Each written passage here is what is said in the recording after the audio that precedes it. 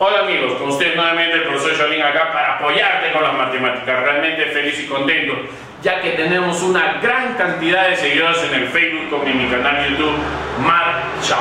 También agradecer a don Walter Ceballos que hace posible que estos videos lleguen a su hogar por Canal 23 One. Muy bien, seguimos con la gran cantidad de ejercicios sobre problemas de longitud de arco y área de sector circular, los cuales quiero que ustedes puedan aprender correctamente y no tengan esa dificultad de decir no puedo. Muy bien, tú lo puedes hacer y sé que lo vas a lograr. Pasemos a la segunda parte de problemas de longitud de arco y área de sector circular. Muy bien, acá dice determina la longitud de arco en cada gráfico dado. Primero vamos a darnos cuenta que acá la longitud tiene dos partes, ¿no? Un video anterior hemos hecho aquí tenemos dos sectores circulares. Este sector tiene una longitud diferente a esta. ¿Por qué? Porque tienen diferente ángulo como diferente radio. Entonces vamos a colocar longitud 1 y longitud 2, que nos dice que la longitud total va a ser la longitud 1 más la longitud 2.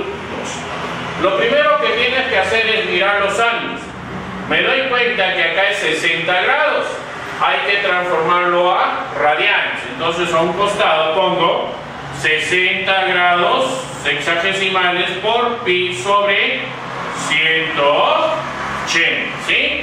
Dices, 0 grados con 0 grados se va, sexta 1, sexta 3. ¿Cuál es el ángulo en radianes? Pi tercios, porque pi por 1 es pi.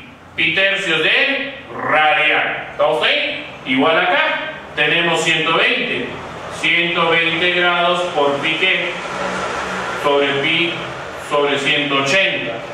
Igual, 0 con grados, 0 con grados, sexta 2, sexta 3. Aquí el ángulo tendríamos 2 por pi, 2 pi sobre 3, ¿qué cosa? Radianes. Teniendo esos ángulos ya transformados, a radianes, vamos a trabajar.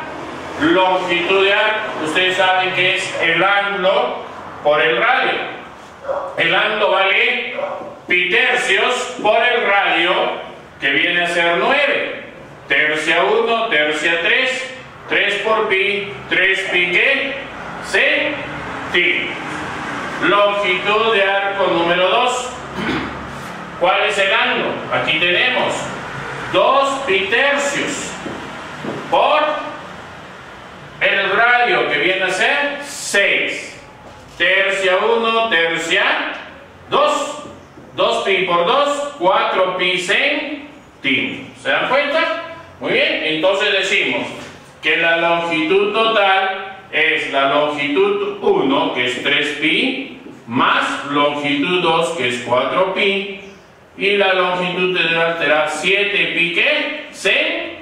¿Se dan cuenta o no? Así de sencillo. No es nada complicado aprender longitud de arco. Veamos el siguiente ejercicio. Vamos a hallar la longitud de arco. Vemos que el ángulo ya está en radianes, ya no necesito transformar y el radio está en centímetros.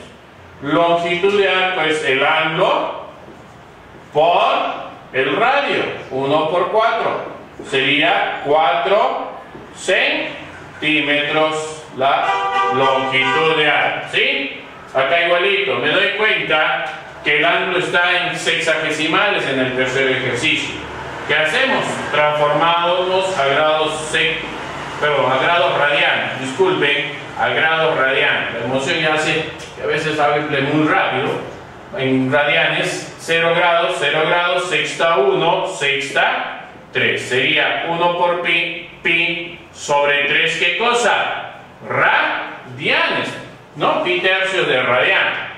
Entonces date cuenta que la longitud de arco, ¿sí? Es igual a qué? Al ángulo, pi tercios, por el radio, que es 21. Tercia 1, tercia 7. La longitud es 7 por pi, 7 pi qué?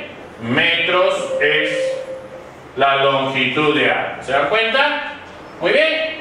Para terminar este grupo de ejercicios me doy cuenta que acá también me pide la longitud, ¿correcto?